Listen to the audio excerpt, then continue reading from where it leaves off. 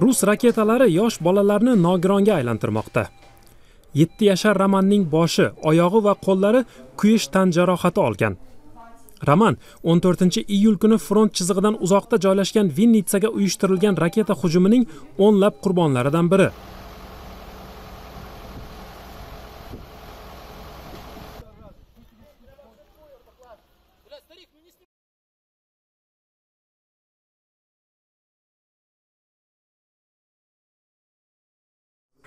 U davolanish uchun ukraina g'arbidagi kasalxonalardan biriga olib kelingan.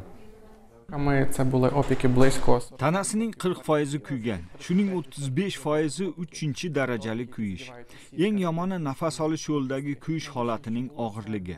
O'pka shikastlanganligi esa vaziyatni yanada og'irlashtiradi. Raketa hujumi paytida roman onasi bilan birga edi portlashdan Roman uchib ketgan va shu uning hayotini saqlab qolgan. Darhol tez yordam mashinasi kelib uni tezda olib ketishdi.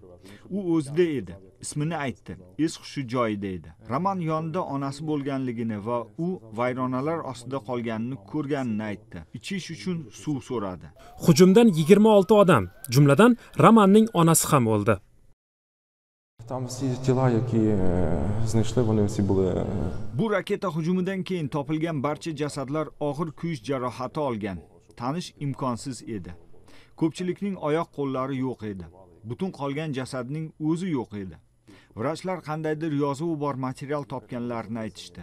Romanning onasida shunday futbolka borligini bilardik. Materialning bir qismi pushti edi va uning ustida pushti jaket bor edi. Uning tasmasi bor edi biz shundan tanidik biz uni tasma orqali va dnk testi orqali tanidik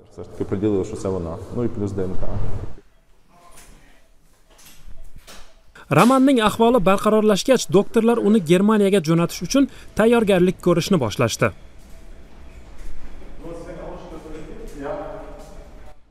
romanning ahvoli juda og'ir. Uni olib ketish uchun tayyorlash juda muhim. Undan ham muhimi yo'lda nimadir sodir bo'lmasligi.